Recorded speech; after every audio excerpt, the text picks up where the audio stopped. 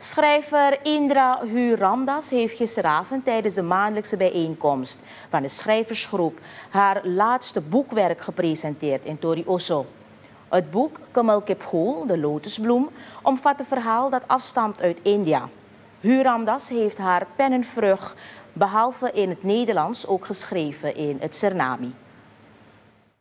Het thema voor deze bijeenkomst van de schrijversgroep was meertaligheid. Daar paste het pas uitgegeven boek van Huram Das goed bij.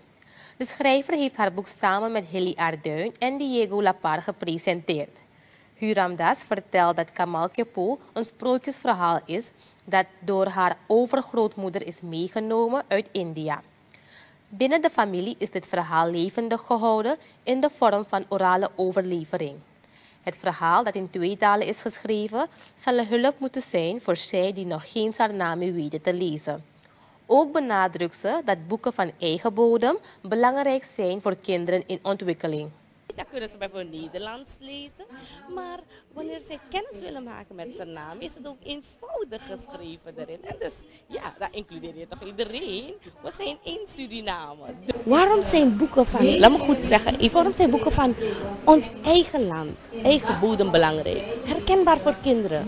Hoe belangrijk is het om met kinderen te lezen uit boeken die herkenbaar zijn, plezierig zijn. Ze is een eigen belevingswereld. En zo wil je alleen maar het lezen stimuleren natuurlijk. En daar gaan we voor. Want dit is een verhaal meegenomen uit India. Maar er zitten Surinaamse elementen in. Want Mina Saranang Uma. Ik, ik ken, en, en, en nog één ding. Ik, ik kende dat verhaal niet helemaal meer. Zoveel jaren geleden gehoord. En steeds weer gehoord natuurlijk. Dus ook mijn eigen fantasie erin meegenomen. En ik ben heel trots. Het is mijn dertigste werk. Ik ben 20 jaar schrijver. En ik geef terug aan de Surinaamse gemeenschap, aan onze kinderen. De sprookjesschrijver vertelt dat ze in 2017 door taalkundige Renate de Bies op het idee is gebracht om een verhaal in het Sarnami te gaan schrijven. Echter merkt ze op dat Sarnami schrijven best moeilijk kan zijn. Huramdas werd gemotiveerd om met dit plan verder te gaan via een ordinaire Sarnami-liedje over het verhaal Kamal Kepoel. Maar in datzelfde jaar hoorde ik Kamal Kepoel heeft een lied. In ordinaire bewoordingen hoorde ik dat lied. Ik was zo boos. Ik dacht, dat kan toch niet zo'n mooi verhaal. Het is een sprookje. Prachtig sprookje. Nou, ik ga het schrijven in Sarnami.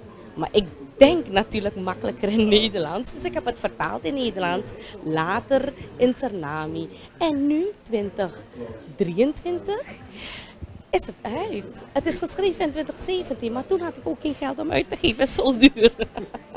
dus nu met uh, de commissies die er waren ingesteld in verband met uh, al de verschillende hoogtijdagen. Nou heb ik een brief gestuurd gevraagd eigenlijk, een project ingediend om dit te, uh, zal ik het zeggen, ondersteunen. En ik heb ja gehad van de commissie